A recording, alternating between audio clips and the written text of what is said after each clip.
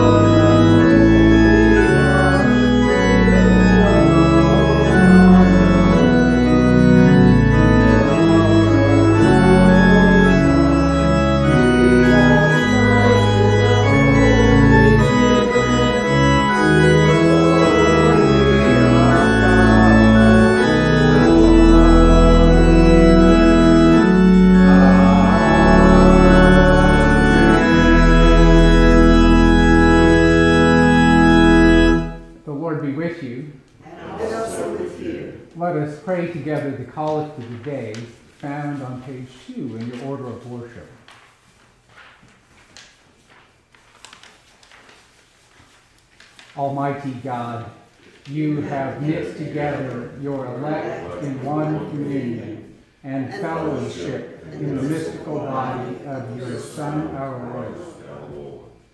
Give us grace so to follow your blessed saints in all virtuous and godly living, that we may come to those ineffable joys that you have prepared for those who truly love you. Through Jesus Christ our Lord, who with you and the Holy Spirit lives and reigns, one God, in glory everlasting. Amen. Please be seated for the reading.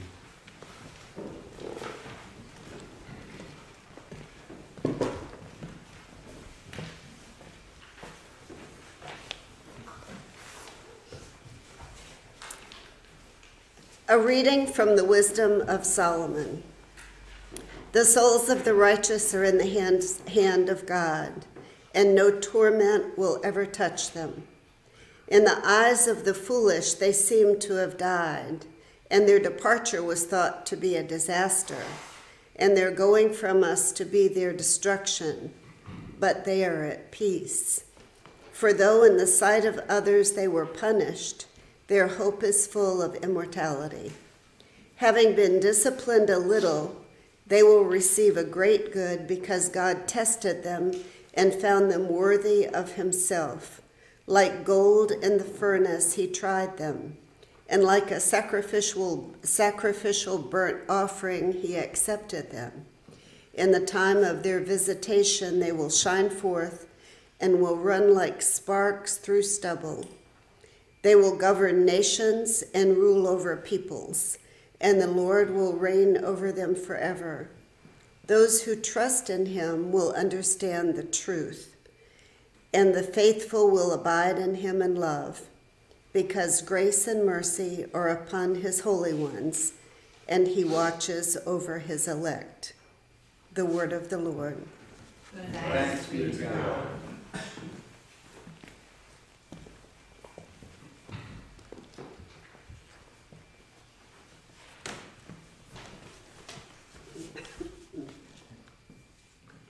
The psalm appointed for this morning is Psalm 24, found in your order of worship. We will read the psalm in unison.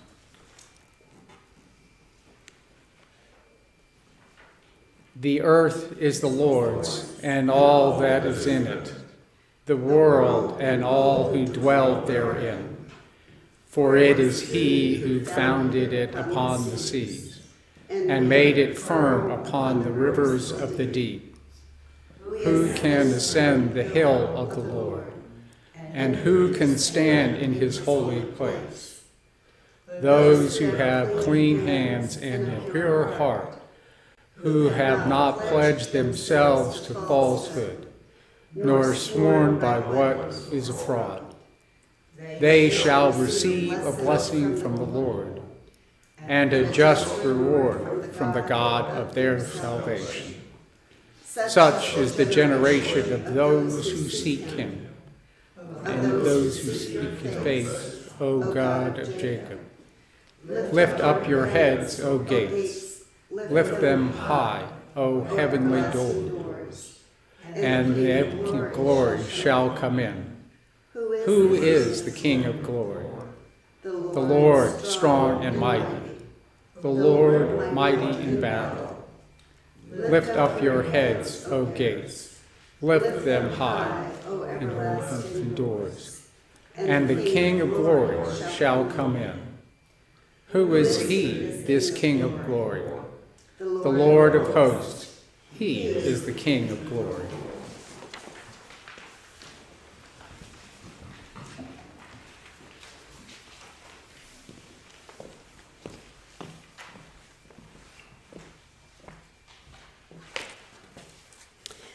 A reading from the Revelation of John. I saw a new heaven and a new earth, for the first heaven and the first earth have passed away, and the sea was no more. And I saw the holy city, the new Jerusalem, coming down out of the heaven from God, prepared as a bride adorned for her husband. And I heard a loud voice from the throng saying, See, the home of God is among mortals. He will dwell with them. They will be his peoples, and God himself will be with them. He will wipe every tear from their eyes. Death will be no more. Mourning and crying and pain will be no more, for the first things have passed away. And the one who was seated on the throne said, See, I am making all things new. Also, he said, Write this, for these words are trustworthy and true. Then he said to me, It is done. I am the Alpha and the Omega, the beginning and the end. The word of the Lord. Thanks be to God.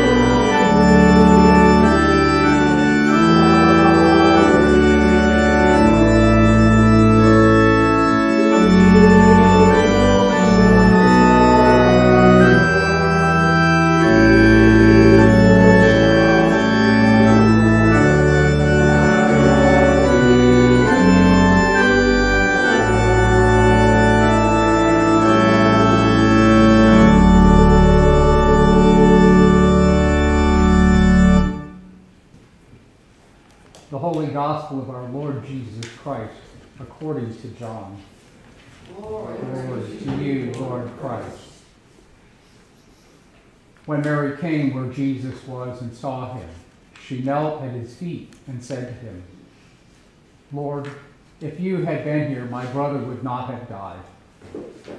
When Jesus saw her weeping, and the Jews who came with her also weeping, he was greatly disturbed in spirit and deeply moved. He said, Where have you laid him? They said to him, Lord, come and see. Jesus began to weep. So the Jews said, See how he loved him. But some of them said, Could not he who opened the eyes of the blind man have kept this man from dying? Then Jesus, again greatly disturbed, came to the tomb. It was a cave, and a stone was lying against it.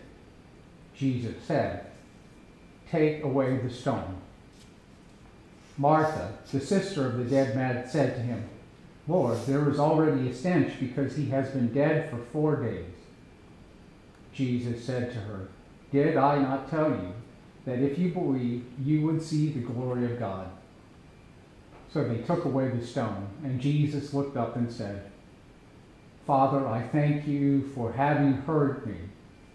I knew that you are always with, always hear me, but I have said this for the sake of the crowd standing here, so that they may believe that you sent me.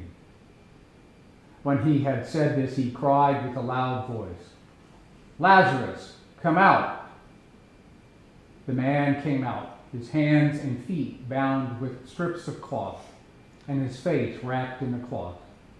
Jesus said to them, Unbind him and let him go. The Gospel of the Lord. Praise, Praise to you, Lord Christ. Please be seated.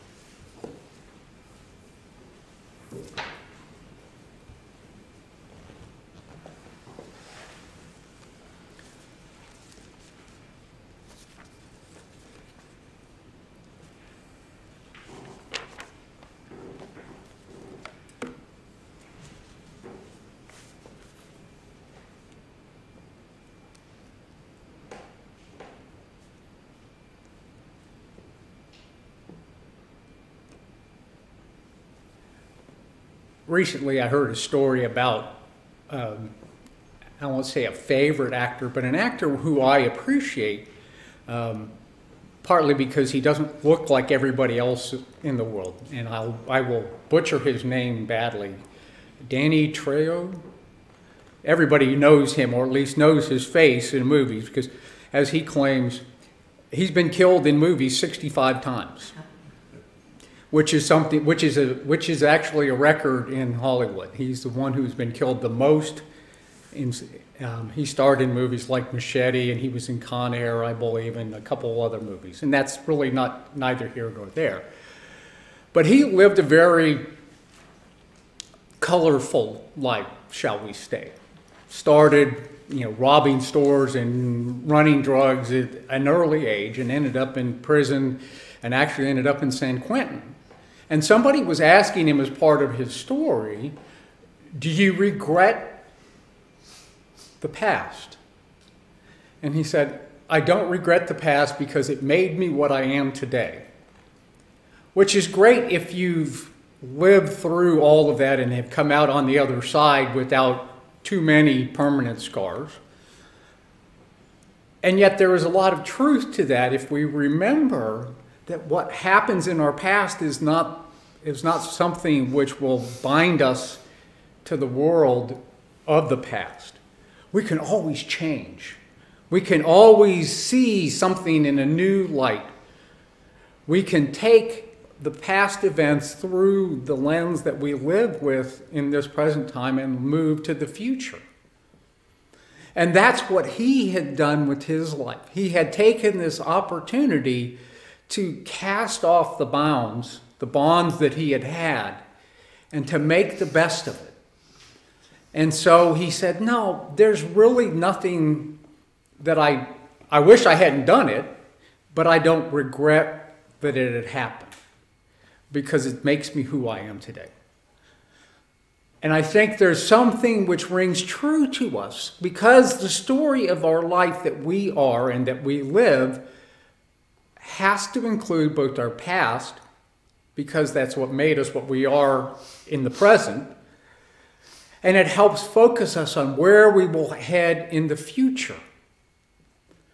Today being All Saints Sunday, we will see some fairly standard actions in most Episcopal churches today. Across our denomination, at least in the Episcopal Church, we will there will be remembrances those, of those who are no longer with us. The reminder of the saints among us who have been among us and who continue to be among us. Honestly, I, I think it's proper to remember those recently passed And in fact, sometimes we remember those who are long past, but that's less important to us liturgically. Today is a day where we say goodbye in a way to members of our parish, those who have graced this community with their reflection of God's present in the here and in the now. But today is a day which is more important than simply looking at the loss of the past. We are invited or maybe reminded to remember the more essential parts of the lives of the saints present. We are encouraged to remember our diverse fellowship in the vibrant community of this body of believers. And our collect today uses those terms of fellowship and communion. And I'd like to take a little look at what that means. What does it mean to say that we have fellowship? And it's not simply the eating of food in the parish hall, because if that was the case, we wouldn't have had fellowship for almost two years. Fellowship is companionship. It's a friendly association that has a shared experience. Not unlike the word communion, it's that act of sharing in common. Not simply at the table, but it's that intimate relationship with a deep understanding of the other, even, or probably more importantly, when the other is different than we are.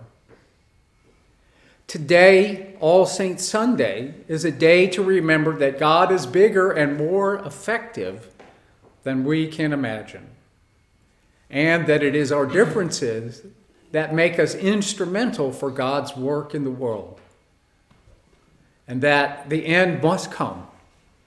But the end we know is not the final end. But we often need others to help us see God in the struggle of the now which leads me a little bit to the reading from John of Patmos, the revelation to John. John, in his reading, is relating to the people in his world the new reality which comes when God's reign on earth is realized.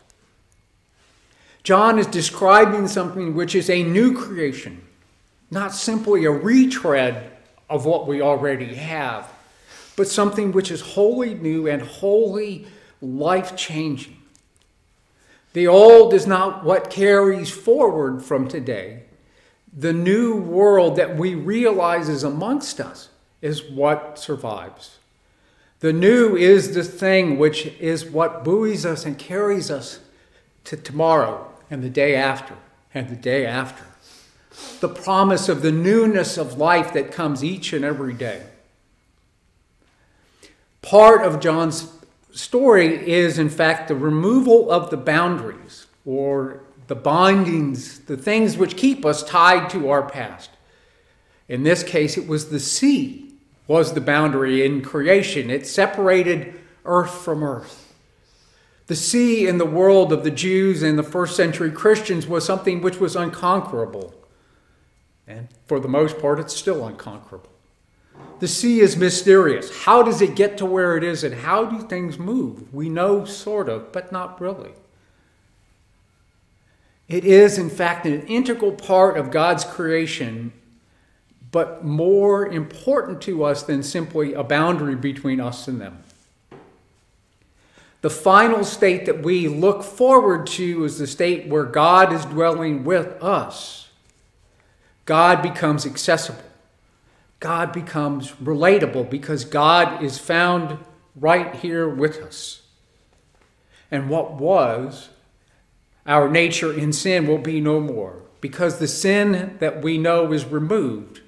The relationships that we have with God and with others have been restored to their natural state. John reminds us that what we were in our past is no more, and what lies ahead every day is new. We are assured this because of our relationship with God and God's promises. And we hear it today in John's reading, and that should be something which gives us hope. Because God says, I am beginning and end. I am Alpha and Omega. That assurance to us is nothing happens or will happen in the absence of God's care and presence. As I was doing some studying for this week, and I have to admit that it was a little, I had approached this with trepidation because I find myself looking for the story I want to tell as opposed to the story that Scripture wants me to tell. I had a reflection question that came up this week, and it was disturbing to me, not because it isn't important, but because I'm starting to feel like I'm a broken record. The question that was asked was How does our story end? We know at least functionally the answer to that story, at least as individuals. We all die. As far as we know, nobody gets out alive with the possible exception of Elijah. But we have been assured that God's plan for us and our community and those who we are in fellowship with will not be defeated. As a place where we are reminded that God is always present, the answer, though, to our life and the questions that we have is complex the answer to the question of how does our story end? We need to remember that God never abandons those who love God, you and me, and all of us in this room, and all of those who we have been connected to in our past. God sends people into our body, into the body of the faithful, to help them renew their spirit, to remind them that God is present always and that the simple way to God, find God's presence is to get out of the way and to look for it. We find God most easily when we stop being the one who is important and looking for God. God, in fact, puts us together from different places. And I'm very aware of that, being one who is not technically from here to help us reweave the body present into something with a shared experience and with a shared focus. God is creating us new. He's knitting us one with another to create this interwoven fabric, which is rich and warm and comforting. And it helps us refocus ourselves not on what we don't have or what was past, into what we do have and how we share that today. Not yesterday, not tomorrow, but today. So, how are we, in fact, looking for people or looking to God to help us find those people to be knit together with us?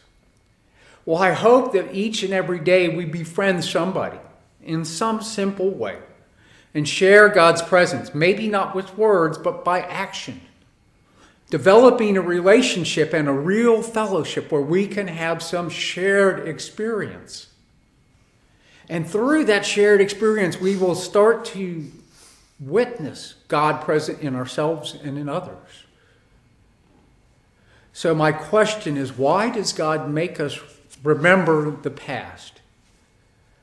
Well, we were invited to remember the past, to remember the saints, not because we might forget them, no, it's not that, because none of us will forget those people who have gone before us. No, what we need to remember is that we are part of something that is bigger than now, bigger than the fears that we have, and bigger than what we feel like we're turning into. And even when we are different than we were back then, we will become something which is new and inviting and greater than the sum of everything that has gone before us. God reminds us in this community that we are part of a group with community and fellowship, which is focused on the promises made before today. That promise of God's presence with those who trust and believe and fear God. We are invited to remember the saints both before us and present because the arc of the community does not start or stop with us. the beginning and the end of the community is truly found in God. The promise that we are reminded of today is that God dwells right here with us, all of us, and our community. And we only need to be what we are and what we are called and equipped to be, not something different, not something that's like everybody else. We are called to be exactly what we are today. God was, God is, and God will be with us. That's the promise that God made all those centuries and millennia ago. All we got to do is look and find God's presence right here, right now. This place is a place that God created where God will thrive, not as God, but God with humans, doing God's work in the world. Sometimes we repeat the promises made not because we might forget them, but because they get lost in the noise of our life.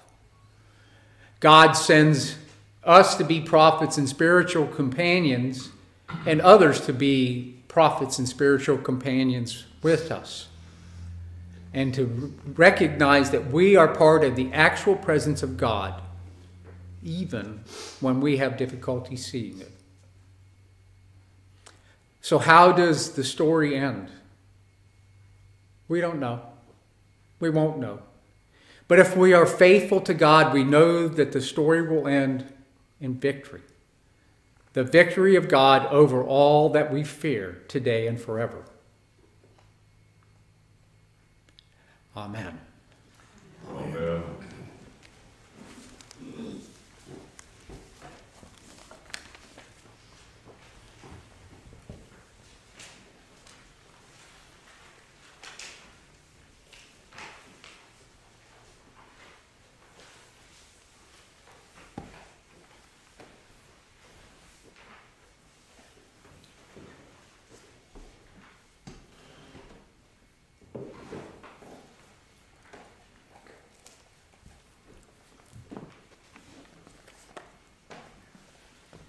Please stand as you are able.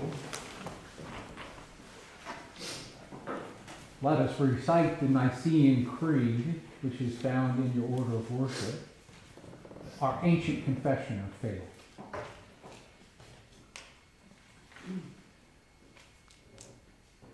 We believe in one God, the Father, the Almighty, maker of heaven and earth, of all that is seen and unseen. We believe in one Lord Jesus Christ, the only Son of God, eternally begotten of the Father, God from God, light from light, true God from true God, begotten, not made, of one being with the Father. Through him all things were made. For us and for our salvation, he came down from heaven. By the power of the Holy Spirit, he became incarnate from the Virgin Mary and was made man. For our sake, he was crucified under Pontius Pilate. He suffered death and was buried. On the third day, he rose again, in accordance with the Scriptures. He ascended into heaven and is seated at the right hand of the Father. He will come again in glory to judge the living and the dead, and his kingdom will have no end. We believe in the Holy Spirit, the Lord, the giver of life, who proceeds from the Father and the Son. With the Father and the Son, he is worshipped and glorified. He has spoken through the prophets. We believe in one holy Catholic and Apostolic Church. We acknowledge one baptism for the forgiveness of sins. We look for the resurrection of the dead and the life of the world to come. Amen.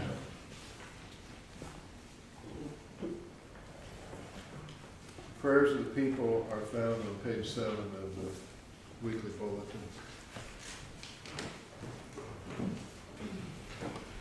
On this last Sunday of the liturgical year, we celebrate the feast of Christ the King. As we reflect on the meaning of Jesus' reign over our hearts, let us pray for ourselves and for the world, saying, May your reign come, Lord, hear our prayer.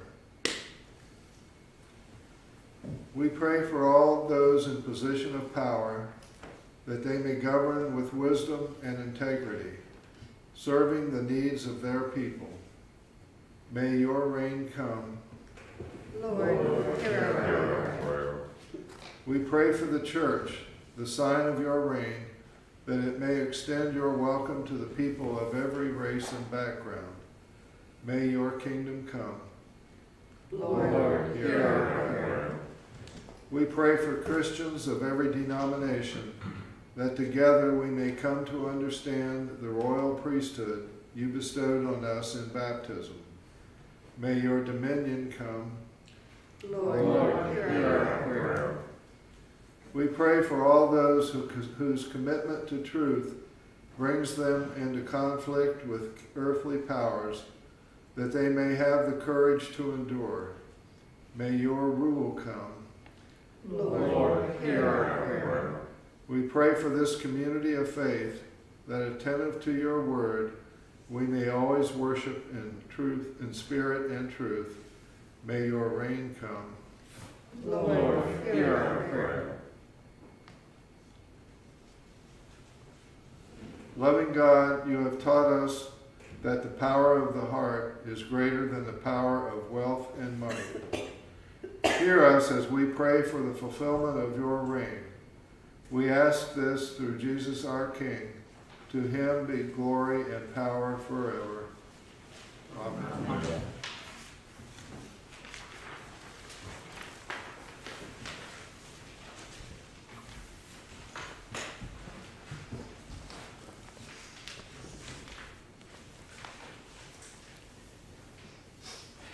Let us confess our sins against God and our neighbor.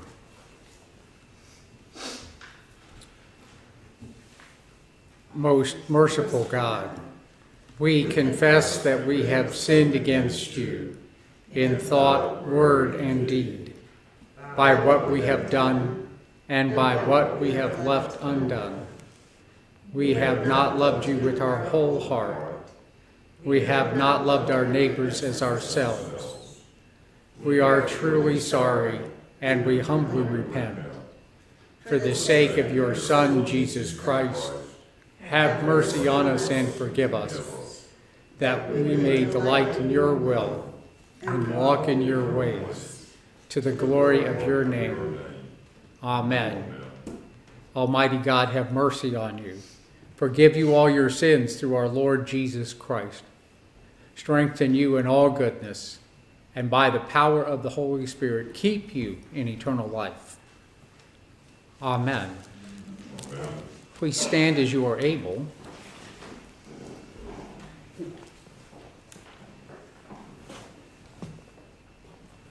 The peace of the Lord be always with you. And also with you. Greet one another in the peace of Christ. Peace. Peace. Peace. Peace. Peace.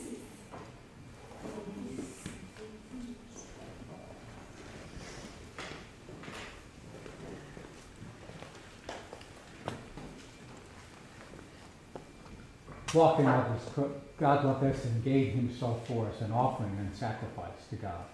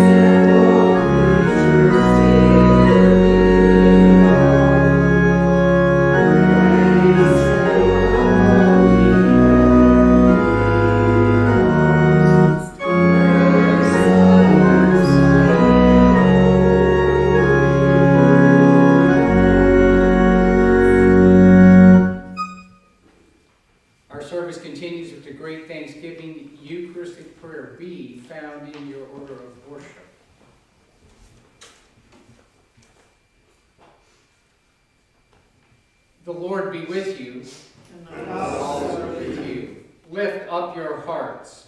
We lift them to the Lord. Let us give thanks to the Lord our God. It is right to give God thanks and praise.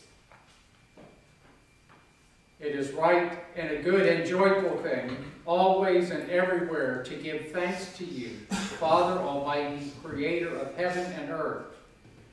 For in the multitude of your saints you have surrounded us with a great crowd of witnesses, that we might rejoice in their fellowship and run with endurance the race that is set before us, and together with them receive the crown of glory that never fades away.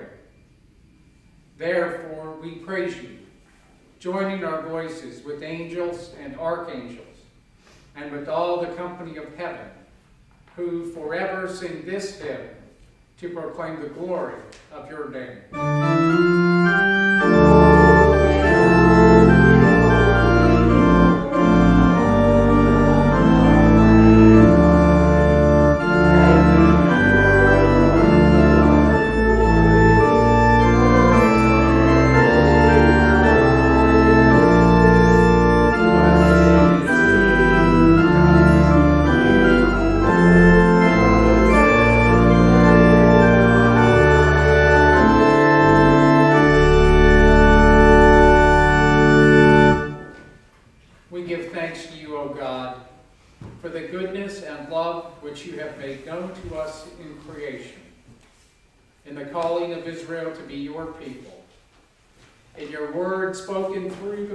Prophets, and above all, in the word made flesh, Jesus, your Son.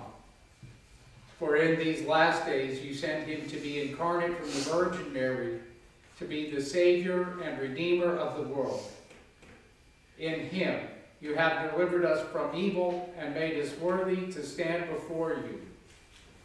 In him you have brought us out of error into truth, out of sin into righteousness, out of death into life. On the night before he died for us, our Lord Jesus Christ took bread, and when he had given thanks to you, he broke it and gave it to his disciples and said, Take, eat. This is my body, which is given for you. Do this for the remembrance of me.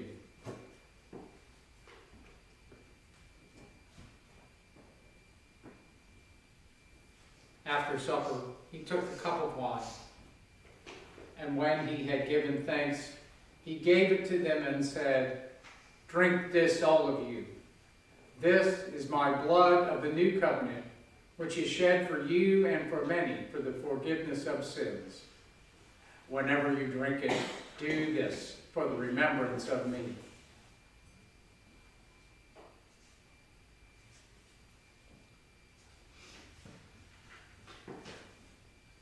Therefore, according to his command, O Father, we mm. remember his death.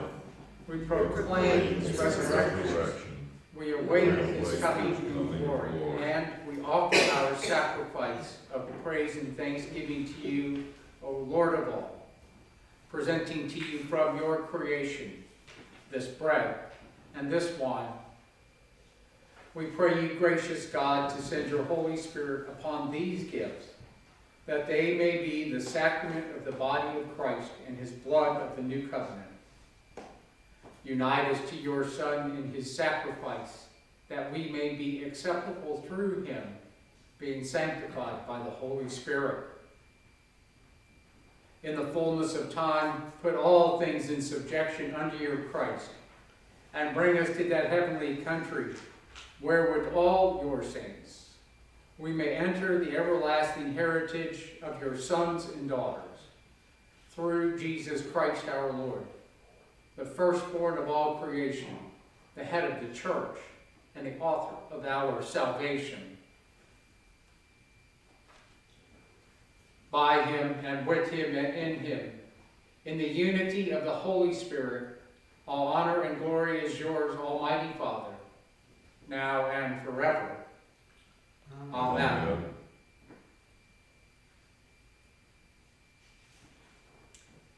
And now, as our Savior Christ has taught us, we are bold to say, Our Father, who art in heaven, hallowed be thy name. Thy kingdom come, thy will be done, on earth as it is in heaven. Give us this day our daily bread, and forgive us our trespasses, as we forgive those who trespass against us. And lead us not into temptation, but deliver us from evil.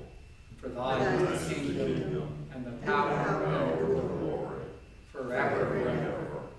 Amen.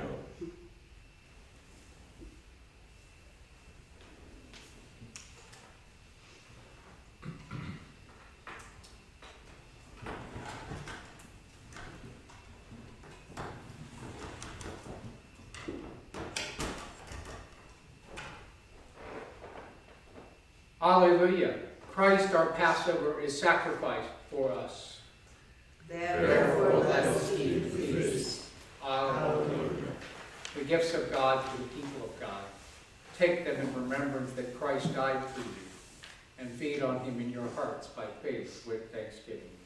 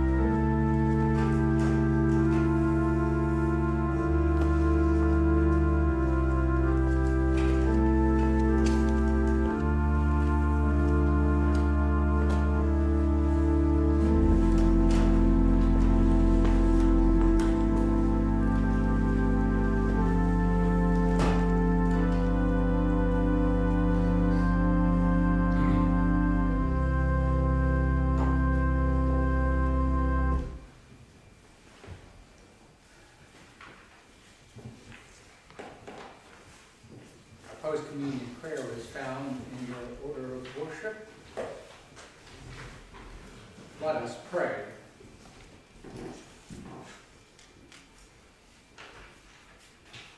Eternal God, Heavenly Father, you have graciously accepted us as living members of your Son, our Savior Jesus Christ, and you have fed us with spiritual food in the sacrament of his body and blood. Send us now into the world in peace, and grant us strength and courage to love and serve you with gladness and singleness of heart. Through Christ our Lord. Amen. May the Lord bless you and keep you. The Lord make his face to shine upon you and be gracious unto you. The Lord lift up his countenance upon you and bring you peace. And the blessing of God Almighty, the Father, the Son, and the Holy Spirit be with you and remain with you always. Amen. Please be seated for some announcements. And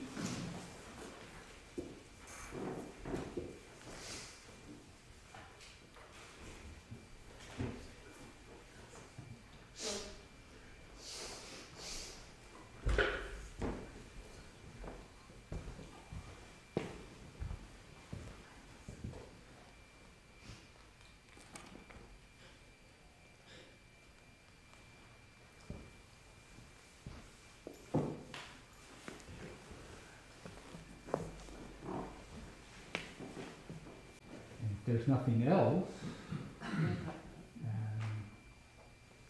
our closing hymn is hymn number 288.